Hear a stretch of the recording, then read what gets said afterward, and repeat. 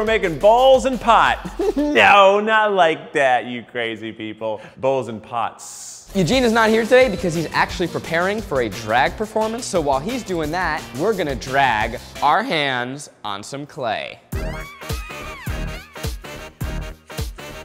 My name is Mel. I'm one of the owners here at Still Life Ceramics. Today we're gonna make something on the pottery wheel. We're gonna attempt a bowl. We opened in April of last year. We started our company in April last year. Stop. Twins. Twins. Twins. Happy birthday to you. Thank Happy you. birthday Happy birthday coming to you up. guys. Wow, thank Yeah. Ceramics is kind of the umbrella. Pottery is making lots of like functional things. It's less of the like artistic stuff. I'm sure there's gonna be some pottery people watching that are like, she's totally wrong. They don't get to talk. exactly. I'm the expert here. This video is really a challenge. A challenge to see if we can come up with jokes other than the ghost joke. You all know it, it's our favorite movie scene. We've made that joke a lot in videos, but never here in a pottery class. I do feel a lot like Demi Moore.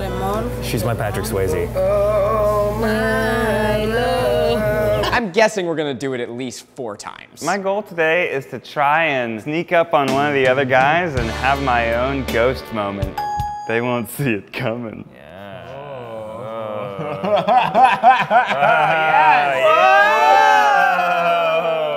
it's I'm beautiful. Thank Look you. what we made. You guys ready to make something on the pottery wheel? Yeah! All right. So the first thing we have to do is choose what kind of clay you want to use. Oh. So this would be the white clay body. So you can see it's pretty like clear, white. And this is how it comes out with the speckled clay. Oh, I wow. love The it. speckles come through the glaze a little. You can see it on the outside. I would like to lean a little more speckled today. All right. I'm gonna go speckled, please.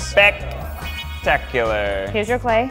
Thanks. Here's your clay. Oh, wow. Can I play with this all I want? I love uh, uh, mushy gushy stuff. I'm just excited to play with the clay. Oh, yeah. This is fucking awesome. Yo, give this a squeeze. Okay, give me yours Let to me try. squeeze. Oh, yeah. All right, the first thing we're gonna do is turn our wheel on. So you're gonna press the pedal on with your toes and off with your heel. Ooh. So this is, if you push it all the way forward, you'll see that That's it- fast. it's fastest. This is very special for me because my wife Ariel loves pottery. Today I'm hoping to make something that maybe she'll use on a monthly basis. So the first thing I'm gonna do is just clean my wheel before I put the clay down. And your wheel should be going counterclockwise. If it's going clockwise, you're doing it wrong. Since I moved in with Maggie, she's really opened my, my eyes to the world of ceramics. My goal today is to make a decorative piece that my girlfriend will be proud of. Okay, SpongeBob, do your You got it. Oh, that's nice. I love letting things do the work for me. This is great. Becky and I, we're married now, we're trying to cute up our place. I want to make something nice for Becky, something nice for us. Today we're gonna do basically the first step, which is throwing it. So putting it on the wheel and actually, yeah, we're actually not gonna throw anything. Wait, literally the only thing we know about this is that you throw clay, and you're telling us we're not throwing clay? I don't personally throw it because I find if I throw it, I'll get it way off center and then it's a lot harder. So I just kind of put it down in the center. You're welcome to throw it. Oh, a little off center. Pretty good. Get it nice and stuck down. I want to make sure that as I'm working with it, I'm going to be throwing lots of water on it and I don't want any to get underneath the clay because it'll make it slide off. And I wish we could eat our pots at the end. Have our pots and eat them too. I'm gonna throw a bunch of water on it and I'm gonna squeeze everything toward the center. Because it's spinning, I'm just applying pressure in two spots. Oh, it's growing. Now it looks like a weird nipple. As someone who works in pottery, Uh-huh. are you at this point sick of the ghost jokes? No. No. We encourage the ghost jokes. I haven't seen the movie, so. You haven't seen the movie? No, I know. Oh, come on. I have heard that to be a great artist, you must have your lover shot down in the streets. That's the, that's part of ghost. All right. Oh, okay, good, good, good. Yeah. I was like, oh God. Got this. Oh, God. Oh my gosh, look at you. Oh my You look god. ridiculous. Oh, I'm having my ghost moment. Oh. Wow! Whoa. Okay, little boy, let's give you a bath. Sprinkle dinkle. I love my lump. I'm gonna name him Boris. counter pressure. So move them around a little more to the sides. Yeah. Yes or no? That's great. Perfect. You can pause there. Yeah, there. bro. That's a knob. So in terms of design, I feel like classic ceramics is like very clean and neat and precise. It seems like the more artisanal pottery is kind of about ridges and imperfections, mm-hmm. and is that something that we should strive for? Sure. I like it as part of the design, and I think that moving back to buying handmade stuff, you know, they can see where it came from. So we're gonna do the down one now, and then to go down, so I'm pushing it toward. I'm pushing Oh it down God. toward my bucket, return kind of to the shape that we started with, a little lower. This is so satisfying. It's like watching a plant grow in fast motion or Right? something. It's Yeah. like so amazing.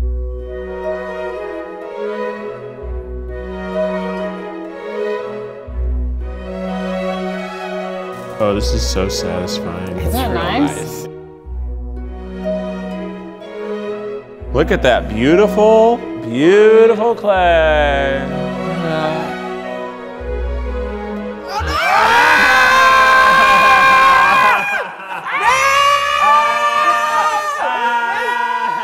Is it because at one point I made him go real fast? I think so. Oh, We might have gone a little tall, a little faster. There you go. There you go, little lumpy. Yeah, there you go. There you go, little mound. We're ready to move on to the next stage, which is creating the shape that we're gonna use. We can make some like nice fart sounds with our clay. Oh, yeah.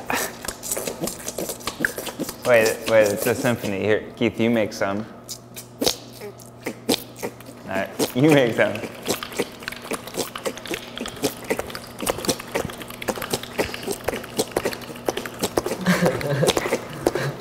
So now we have what is the beginning of our heart. So the first thing I want to do is find the center of the spinning mound and just rest my thumb on top to create a divot. My left. Yeah. Oh, my left hand's so stupid. I mean, my left hand's stupid too.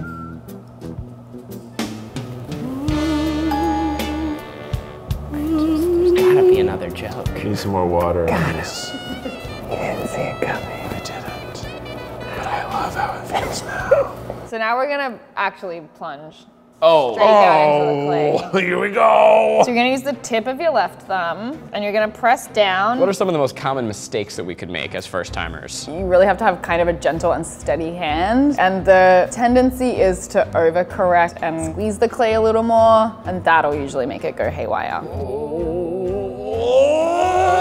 Oh, this is so fun. This feels awesome. Oh, yeah. I like this. Don't make it gross. Why is it gross? This is just a uh, hobby that I'm enjoying. There's literally nothing sexual about this. There's no feeling where a, a hole is spinning rapidly around your thumb. There's nothing. There's nothing like it. No. Wow, nice hole. It's a great hole. So next we're gonna open the bowl out. Man, we should have called this video Try Guys Try Bowling. Yeah, so we're gonna use our left thumb again. We're gonna apply pressure straight in a straight line out towards nine o'clock. And I use my right hand both to kind of stabilize my left. I'm just pressing out. oh, there it goes. It's a ball. It's falling. So you wanna be careful not to go too wide or it'll kind of collapse over the base. Thumb, Enter. enter the pot. And We're just so afraid to overdo it. Ooh. Oh, yeah. yeah. Great, so then you'll pull your thumb out while it's still spinning. Beautiful, look at oh, that. It was like watching my bowl go.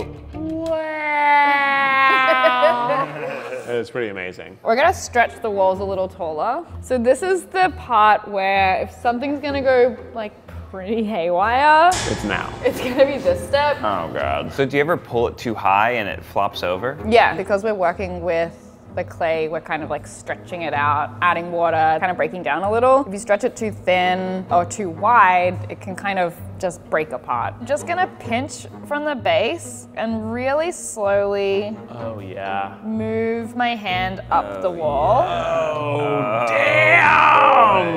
That's a cylinder. Squeeze on top of the wall, yeah. Yes, Ned. Good job, Ned. Oh yeah. Your wife is watching. Keep your elbows down. Squeeze that ball, make it grow. Squeeze that ball,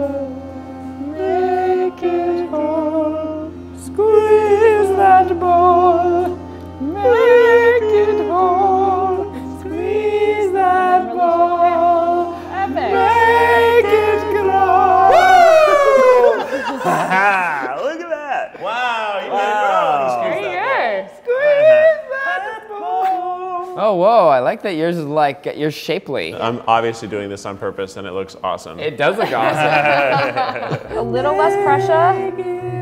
A little less. pressure, yeah. Keep going all the way up to the top. Oh, no! No! What have you done? You fucked it up! So what happened was you kind of hit that snag and then pitched, pinched all the way Well, off. it just slipped right out. I had Yeah. so much, I was so wet. You're wet. just too, having too much fun. What if this is just part of my design though? What if I just embrace it? Embrace it. Yeah, I'm not gonna let you fix it. Okay, that's This totally is- fine. This is me. Great. Accept me or don't. That's your prerogative. This is my bowl. So this tool is going to go inside the bowl at three o'clock, and as you apply pressure in one spot, you can oh see. My God. Wow. Ta-da. Oh, it's a ball! Man, Eugene must be having such a shitty time not doing this. Probably, Yeah. actually. Just be careful that we don't go too. Flat. You don't want to make a plate. That's like an expensive soup bowl. Yeah. This is just like a saucer. this isn't quite what I intended, but I, I think I'm just gonna. This is exactly what I meant. What would you change about it if you wanted to? I wanted it to be kind of more like tall and then flop over. I think I can do that. You want me to give a quick try? Okay. Feed the bowls. Oh wow. This is where the magic happens. A little faster? A little faster. Grow! Yeah, now it's wacky looking. Wow, Zach. Thank You're- you. This You're is my doing so hand. well. Wow, Zach, you're doing you. amazing. Wow. Zach, this is such a cool bowl you made. Whoa, Zach! Yeah. Very quiet. I'm just being so focused. You're doing a great job. It definitely gained a wobble. You know, it start it started so smooth and centered, and it it gained a nice wobble. Oh, oh look at it wobble bobble! Oh god. Oh god. What are we doing? What's happening? We're getting real nervous on this bowl. What do you think? Is it gonna collapse? It's not gonna collapse, but it might just be a wobble, wobble, Wobble ball. bobble? Yeah. Fuck, huh? I don't want to make a functional bowl. Maggie's all about these like decorative bowls that don't do anything but just look cute. But what do you want, Zach? That's what I want. Oh, okay. To make. I Maggie make her happy. happy. Oh, okay, they're great. But you can put anything in it. Olives, popcorn. Olives. Ooh, Olives is the first thing your mind goes Olives to. Olives would be delicious. I really in a like bowl. olives. There's gonna be a no olive sign on my bowl. You can put any. olives? You can put anything else. I think I'm good. Great.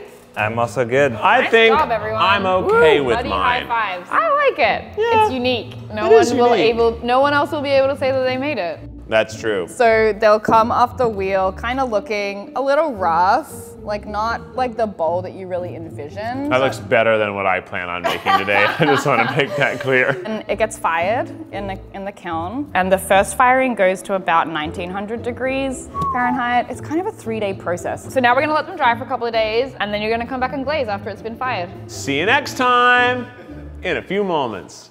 It is one week later. We are back at the pottery. We're, wet, we're, back at the pottery. We're Back at the pottery. We're back at it. We are ready to see our bowls as they are after they have been in the kiln, and now it is time to glaze. And to help us glaze, Hi, I'm Ana. Thanks for coming to glaze with us. Yeah, we love to glaze. So I heard your bowls survived the kiln. Sometimes they crack oh. or they explode. oh no. Explode? Wow, thank you. Oh, it, it looks even better. I can see how it was close to exploding, but it didn't. Whoa! Look at my goofy bowl. I love it. Mm. That is an olive bowl through No, and through. No, I wouldn't. Zach. I'm Yeah. not putting any olives in here. I've There's never no- seen a better olive dish than There's that. no olives allowed. Let's see my perfect bowl. Okay, okay, all right. We got some things going on. Ooh, I like it. It's very unique. It kind of looks like a goofy hat. It has a lot of expression, this bowl. I'm gonna tell you right now, there is no food going in this ever. This is decorative. I'm gonna come over to your house and just fill it with olives. So there's a couple of ways to glaze, but I think one of the important things to know about glazing is that glaze isn't paint. Glaze is actually glass. Oh. And this is what makes your bowl food safe. So this is a little sample of a test glaze. If you feel it, you can kind of hear the glass surface. Wait, ASMR Darling taught us how to do this. You ready? Glaze is a chemical process that happens, and we mix silica, alumina, clay, and different colorants, metals, and earths. They get heated to 2200 degrees Fahrenheit, and that's what makes it melt into glass. This is, looks pretty solid, but then as you shake it, Oh, it's flattening out. Oh my gosh, it's so runny. it turns into liquid. Whoa. And that's a little bit about how mixing glazes works. The color you see here, this color right here, no, it isn't. this looks green, Yeah. but it turns out black. Shut Up. What? So we have a bunch of different colors for you guys to choose from, and there's different techniques to glaze. And we'll go over three options for you today. One is paint your glaze on. You can brush in different ways. It's part of your own personal creative expression. This is a great way to brush on your glaze. Grab your brush, you get as much glaze on it as you can, and then you just spin and then keep painting it on. Mm. You can use one of these green brushes and then grab what is wax. We call it wax resist because what it does is it resists the glaze. So wherever you paint green, you dip it in, that area won't get glazed because the wax resisting the glaze. So with mine, I'm waxing the rim so that it will remain that beautiful natural color. And I'm waxing my bottom. Well, I'm waxing my bottom and taping part of my rim so that I get two tones. My bottom has been fully waxed. The other technique is dipping the bowl into the bucket of glaze. What can happen sometimes is people press really hard and then they break their bowl. Oh, so you have to be careful when dipping. Ariel really likes these kind of light green colors. I just want a glaze that's really beautiful and simple. With that shape, the dipping method is going to be great. It's a contemporary, simple shape. The seafoam green color will stand out on your shelf. off. Wow, you went all the way. That's great. Did I do it? You did it. Does it. it look nice? Yeah, he went all the way. So this area, what you're gonna do is Uh-huh. you're gonna dip your finger in again and then just touch up and then we'll smooth it out with your fingers again. Wow, That's really cool. You just dipped it in and then it's just super smooth. You did it. So the third option is pouring. This is a really good technique for a really modern look where you just have the inside of the bowl glazed. You just pour it in, roll it around a bit, Bring it around and then you dip it out. All the decorations that Maggie has, she loves like, I think the antique white and like gray. I like these two colors together. And I think you have such a prominent rim on your bowl that accentuating that rim might be a really good accent to that piece. So I would fill maybe this much glaze, yeah, and pour it right in the middle. What to here? Yep, that's okay. good. Now I'm going Swirl. And don't worry if it dips out, we can wipe that off. Okay, cool. Oh, this is Yep. definitely more than a second. It definitely is. Oh no. Oh. Get out of there. Oh, it's all over the place. It's not a problem. You It's- need it to feels like a off. problem. We'll get you a sponge and we'll sponge that off. Should I just add more? Should I just No. keep adding more? Don't add more. This is what you're gonna do to wipe off the rest. So you're good now, you can turn it over. Get off.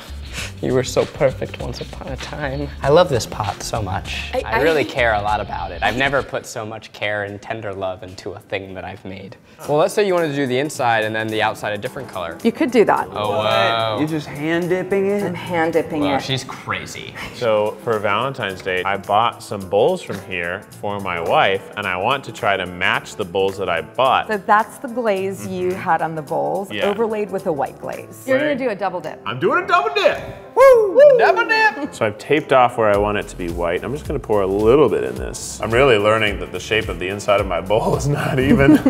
But you're doing a really good job. Thanks. I'm just gonna pour it, do the same thing on the outside. Do the same.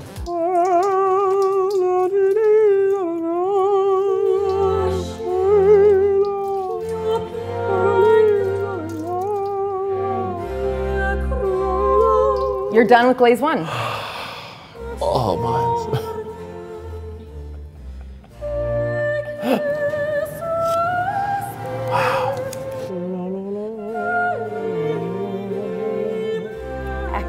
Excellent. Oh, You God. guys, that's perfect. That was so. Oh, but I didn't get home. Ah, okay. get it on the inside! We can do it. Oh, God, what an embarrassment. Or you can leave that exposed edge right there. you think that'll be hot? I think so. I actually think that's a really beautiful design. I did it. Wow, that was. Whew, that was scary. Because if you fuck it up, that's it. So they're gonna fire these away and then we're gonna pick them up and see how we did. But in video time, it's gonna be right now. Here we are. It's been baked and glazed and baked again, like a superior donut, a baked donut. I guess donuts are fried. Uh, It could be anything. It could be broken. It could have exploded, and this is just a plastic bowl that says, sorry you tried. I hope it's cool. I hope I like it. But also I hope I, I made something that Maggie will like. In three, two, two, one. one. oh my god, it's beautiful! Oh my god, look at the bowl! Oh! These look like my bowls that I bought. Whoa! Look at that! Oh my god, that looks amazing! Oh my goodness! Wow! Fuck yeah! Oh shit! Whoa! That's not what I expected at all. Look at that part. Huh? So I'll just always eat out of the bowl like this. You're buying art when you're buying stuff like this. You're not just buying uh, a dish. Look, it's shiny. Tastes good. I love this, but more importantly, I think Maggie is gonna love this. This is getting prime placement in my house. You made this? I thought you were gonna make like a lumpy old thing. This is really nice. It looks professional. Professional. I like it. Oh, Hey, that looks good. it looks okay, right? That looks kind of like the ball. Hey, it looks good. It's pretty good. It's Look a little it, different. It's like the same. No, Yeah. it's not. Oh, look at it. Good job. Oh, Ned. That's beautiful. Oh, thanks. Oh my